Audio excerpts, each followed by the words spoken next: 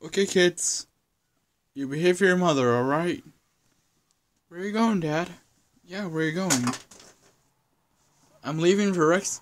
I'm leaving to Rex's universe. I'm leaving to Rex's universe. To deal with Fire Dragon from this universe. Don't worry, Rex. I'm coming. I'm on my way, Rex. Hang on. I'm coming.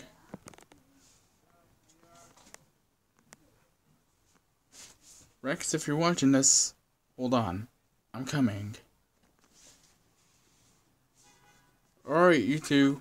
Behave for your mother. T watch over your sister for me. You know how she is. She tends to sneak around a lot. Okay.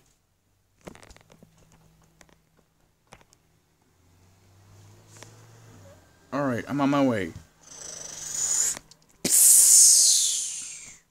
What should, what should we do what should we do in the meantime, brother? I don't know, just chill out.